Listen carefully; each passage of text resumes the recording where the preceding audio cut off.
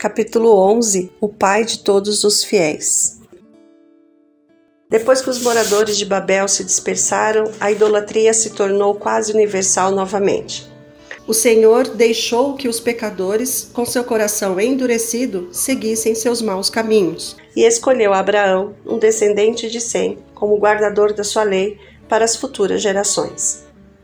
Deus sempre teve um remanescente para preservar as preciosas revelações da sua vontade. Abraão herdou esse patrimônio sagrado. Incontaminado pela apostasia, ele persistia fielmente na adoração a Deus. O Senhor comunicou sua vontade a Abraão e transmitiu a ele o conhecimento de sua lei e da salvação que seria concedida por meio de Cristo. A Abraão foi dada a promessa: Farei de você um grande povo e o abençoarei. Tornarei famoso o seu nome e você será uma bênção. Gênesis capítulo 12, verso 2. A essa bênção foi acrescentada a certeza de que o Redentor do mundo viria de sua linhagem. E por meio de você, todos os povos da terra serão abençoados. Gênesis capítulo 12, verso 3. No entanto, como a primeira condição para o cumprimento da promessa deveria ocorrer uma prova de fé, foi exigido um sacrifício. Deus enviou uma mensagem a Abraão: Saia da tua terra, do meio dos seus parentes, da casa de seu pai, e vá para a terra que eu lhe mostrarei. Gênesis capítulo 12, verso 1. Abraão devia se afastar da influência de seus parentes e amigos. Seu caráter deveria ser distinto, diferente de todo mundo ele não podia nem mesmo explicar sua atitude para com os amigos entendessem. Sua família idólatra não compreenderia seus motivos. A inquestionável obediência de Abraão é uma das mais extraordinárias provas de fé encontradas em toda a Bíblia. Confiando na promessa divina, ele deixou sua casa, parentes e a terra natal.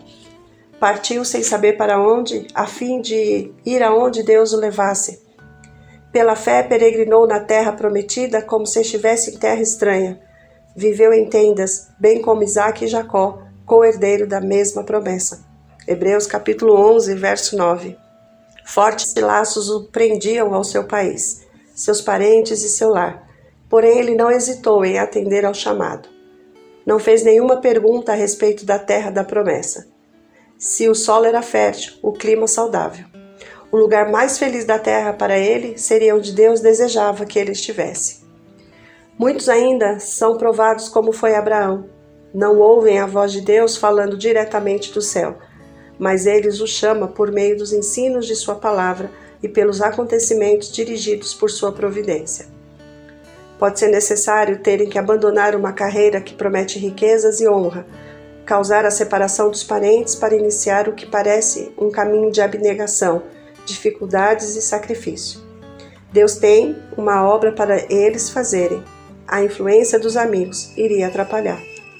Quem está pronto ao receber o chamado de Deus, a renunciar os planos acariciados, a aceitar novos deveres e entrar em campos com os quais ainda não está familiarizado? Aqueles que assim fizerem terão a fé que teve Abraão e irão partilhar com ele da glória eterna segundo Coríntios capítulo 4, verso 17. O chamado do céu veio primeiramente a Abraão em Ur dos Caldeus. Em obediência, ele se mudou para Arã.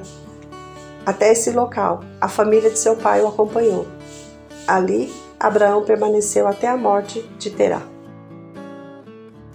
Rumo ao desconhecido.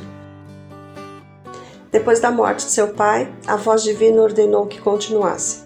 Além de Sara, a esposa de Abraão, somente Ló decidiu partilhar com ele a vida de peregrinação. Abraão era dono de grandes rebanhos e tinha muitos servos. Ele partiu da terra de seus pais para nunca mais voltar, levando consigo tudo o que tinha, todos os bens que havia acumulado e os seus servos comprados em Arã. Em Arã, tanto Abraão como Sara conduziram outros à adoração e ao culto do verdadeiro Deus. Esses foram com ele para a terra da promessa, a terra de Canaã. O lugar onde eles ficaram pela primeira vez foi Siquém. Abraão fez seu acampamento sobre a relva de um extenso vale, com seus bosques de oliveira e fontes que jorravam. Era uma bela e fértil região, uma boa terra cheia de riachos. terra de trigo e cevada, videiras e figueiras, romãzeiras, azeite de oliva e mel. Deuteronômio 8, versos 7 e 8. Uma pesada sombra repousava sobre a colina coberta de árvores e a planície cheia de árvores frutíferas. Em meio aos bosques foram erguidos altares aos falsos deuses, sacrifícios humanos eram oferecidos no alto das colinas mais próximas. Então o Senhor apareceu a Abraão e disse: A sua descendência darei esta terra. Gênesis capítulo 12, verso 7. Sua fé foi fortalecida por essa certeza. Abraão construiu ali um altar dedicado ao Senhor que lhe havia aparecido. Gênesis capítulo 12, verso 7. Ainda como peregrino, logo partiu para um lugar próximo a Betel. Ali, ele construiu um altar mais uma vez e invocou o nome do Senhor. Abraão nos dá um exemplo digno. A sua vida foi de oração. Onde quer que armasse sua tenda, próximo a ela, construía um altar e convidava a todos que faziam parte do acampamento para o sacrifício da manhã e da tarde. Quando se mudava para outro lugar, o altar permanecia. Os cananeus nômades receberam instrução de Abraão, e sempre que qualquer um desses passava pelo altar, também adorava o Deus vivo ali porque Deus permitiu a prova. Abraão continuou a viajar para o sul e a sua fé foi provada novamente. Parou de chover e os rebanhos e o gado não encontravam pastagens. A fome ameaçava todo o campamento. Todos estavam atentos para ver o que Abraão iria fazer ao enfrentar dificuldades e mais dificuldades. Enquanto a confiança dele parecia inabalável, eles sentiam que havia esperança. Sabia que Deus era o amigo de Abraão e que ele ainda o estava guiando. Abraão se apegava à promessa: Farei de você um grande povo e o abençoarei. Tornarei famoso o seu nome e você será uma bênção. Gênesis capítulo 12, verso 2. Ele não iria permitir que a circunstância abalasse sua fé nas palavras de Deus. Para escapar da fome, ele desceu até o Egito. Por estar passando grande dificuldade, não voltou para a Caldeia, de onde tinha vindo, mas buscou refúgio temporário o mais próximo possível da terra da promessa. O Senhor, em sua sabedoria, permitiu essa prova a Abraão para lhe ensinar lições que se tornariam um benefício para todos os que teriam que suportar a aflição. Deus não se esquece nem rejeita aqueles que depositam sua confiança nele. As provações que testam mais severamente a nossa fé e fazem parecer que Deus nos abandonou devem nos levar para mais perto de Cristo. Devemos depor todos os nossos fardos aos seus pés e experimentar a paz que ele nos dará em troca. O calor da fornalha é que separa a impureza do verdadeiro ouro do caráter cristão. É por meio de provações difíceis e severas que Deus disciplina seus servos. Ele vê que alguns têm habilidades que podem ser empregadas no avanço de sua obra.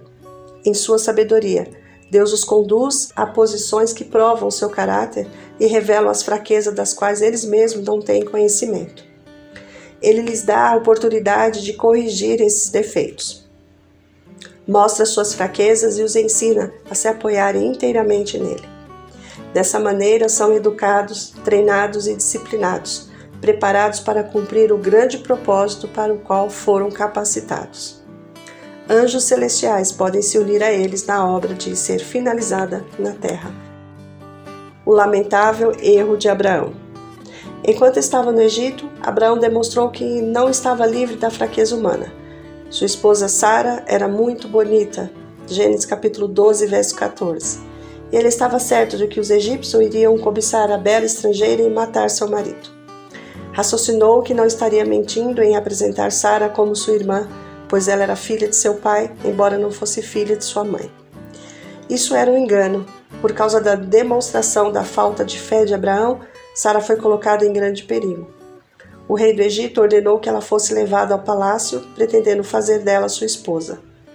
O Senhor, em sua grande misericórdia, protegeu Sara e puniu a casa real com graves doenças. O rei percebeu então que tinha sido enganado. Ele reprovou Abraão, dizendo: O que foi que você fez comigo? Porque disse que era sua irmã? Foi por isso que eu a tomei para ser minha mulher. Aí está a sua mulher. Tome-a e vá. Gênesis capítulo 12, versos 18 e 19. A maneira com que o faraó tratou Abraão foi amável e generosa, mas ele ordenou que deixasse o Egito. Sem saber, esteve a ponto de causar uma grande ofensa a Abraão, mas Deus livrou o monarca de cometer tão grande pecado. Faraó viu naquele estrangeiro um homem honrado por Deus. Se Abraão permanecesse no Egito, suas riquezas, que se multiplicavam cada vez mais, provavelmente despertariam inveja ou cobiça dos egípcios, e algum dano poderia recair sobre ele, trazendo novamente juízo sobre a casa real. O caso não poderia ser mantido em segredo. Entenderam que o Deus a quem Abraão adorava protegia seu servo e que em qualquer mal feito a ele seria vingado. É perigoso causar dano a um dos filhos do Rei do Céu.